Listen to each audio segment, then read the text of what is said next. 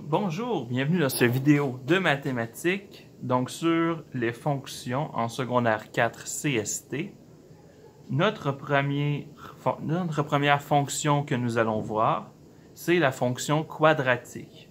Donc la fonction quadratique, c'est une fonction polynomiale de degré 2, parce qu'il y a un exposant 2. Nous, en CST, nous allons voir la fonction quadratique de base c'est-à-dire c'est une fonction avec seulement le paramètre a. En secondaire 4, SN et TS, eux, ils voient la fonction quadratique plus complexe qui a un sommet centré en h et k. Nous, nous voyons seulement la fonction quadratique de base. Donc, le rôle du paramètre a. Nous avons ici f de x égale 2x exposant 2 et g de x égale moins 3x exposant 2. On va commencer par écrire quelques valeurs de x que nous allons représenter dans notre graphique ici. Donc, si je pose que x égale moins 1, x égale 0, x égale 1, x égale 2. Donc, pour les deux exemples, nous allons poser les valeurs suivantes, x égale moins 1, 0, 1 et 2. Nous allons ensuite calculer 2 fois x exposant 2. Ça veut dire 2 multiplié par moins 1 exposant 2. Nous remplaçons le x par la valeur et nous calculons 2 fois moins 1 exposant 2. Moins 1 exposant 2 nous donne 1. 2 fois 1, 2. Donc nous allons écrire y égale 2. Je vais changer pour 0. 2 fois x exposant 2 fois 0 exposant 2, ça nous donne 0. Parce que 0 exposant 2 donne 0. 2 fois 0, 0. 2 fois 1, 1 exposant 2, 1. 2 fois 1, 2. Et 2 exposant 2 donne 4. 2 fois 4, 8. Donc, nous allons tracer la première fonction f de x égale 2x exposant 2.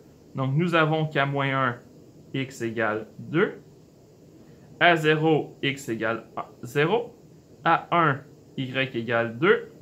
Et à x égale 2, y égale 8. Nous pouvons voir que c'est une fonction qui est centrée en 0 et c'est une fonction qui est symétrique. Donc, on pourrait calculer à x égale moins 2, nous allons avoir moins 8. Donc la fonction de base quadratique, c'est une parabole centrée en 0, 0 et qui est symétrique par rapport à l'axe des y. Nous allons donc tracer la deuxième fonction. Donc ça ici, c'était f de x. Nous allons tracer maintenant g de x. Nous allons x égale moins 1. Donc nous avons moins 3 multiplié par moins 1 et le moins 1 exposant 2. Ça me donne moins 3. Parce que moins 1 exposant 2 donne 1, moins 3 fois 1 donne moins 3. Avec 0, 0 exposant 2 donne 0, moins 3 fois 0, 0. 1 exposant 2 donne 1, 1 fois moins 3, moins 3. 2 exposant 2 donne 4, 4 fois moins 3, moins 12. Je vais ensuite tracer cette fonction. Nous avons donc le point 0, 0 encore. Nous avons moins 1, moins 3. Moins 1, moins 3. Nous avons moins 2, moins 12, qui est environ ici. Et nous avons 2, 12. C'est encore une fois une fonction qui est symétrique. Cette fois, comme notre paramètre a est négatif, la parabole est inclinée vers le bas. Donc, c'est une fonction qui est encore une fois symétrique par rapport à l'axe des y, qui est encore centrée, qui a un sommet à l'origine, et cette fois, elle est orientée vers le bas, car le paramètre a est négatif. Donc ça, c'était g de x. Nous allons poursuivre. Lorsque le paramètre a est positif, la parabole est ouverte vers le haut. Donc, quand c'est positif, c'est ouvert vers le haut, comme ça. Lorsque le paramètre A est négatif, la parabole est ouverte vers le bas.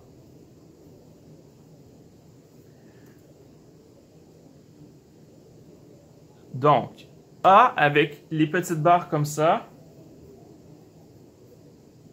ça veut dire valeur absolue de A.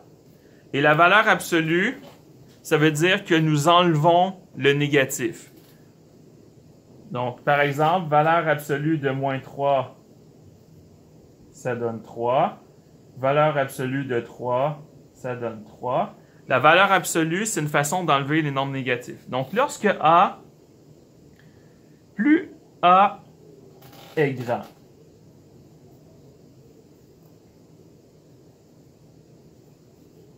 plus A est grand, plus la parabole s'approche de l'axe.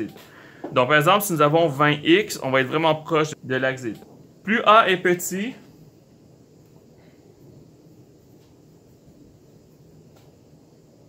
en parenthèse, proche de 0. Donc, plus A est petit, plus il est proche de 0, la parabole s'éloigne de l'axe des Y, donc c'est une parabole qui va être vraiment comme donc, si on a un A qui est grand, la parabole se referme, elle monte très très vite. Si on a un, A qui est petit, c'est une parabole qui s'ouvre. Toutes les fonctions polynômales de degré 2 que nous avons en CST ont leur sommet en 0, 0. Donc, en CST, nous allons voir que le sommet, c'est toujours centré au point 0, 0. Ce n'est pas vrai pour toutes les fonctions polynomiales si vous êtes en SN ou en TS dans des mathématiques plus enrichies. Pour nous, CST, ça va être centré en 0, 0. Exemple. Dans chaque cas, associez le graphique à la règle qui le traduit. Nous avons donc f de x égale 1 tiers fois x exposant 2. Et nous avons différents choix. On peut y aller par essai et erreur. On peut y aller par déduction. Moi, je vais commencer par le plus évident. 20x exposant 2 c'est vraiment celui avec le A, le, le, A le plus grand. Le paramètre A le plus grand. Ça veut dire que c'est celui qui monte le plus rapidement. Donc, le 20x, c'est ma fonction 6. C'est vraiment la fonction qui augmente le plus rapidement. Ensuite, nous avons 5x exposant 2. C'est le deuxième qui monte le plus rapidement. Donc, c'est le numéro 5. Une autre façon de vérifier, si vous regardez bien, nous avons le point 1, 5. Donc, quand x égale 1, 1 exposant 2, ça donne 1. 1 fois 5, ça donne 5. Donc, nous avons bien le point 1, 5. Donc, à cause du point 1, 5 ici, on peut confirmer que le e, c'est bien la fonction 5. Ensuite, nous avons une troisième fonction qui est positive. Nous allons essayer de la trouver ici j'ai besoin d'une fonction qui est positive. Ma fonction qui est positive, c'est 1 tiers de x2. C'est la seule fonction positive qui reste.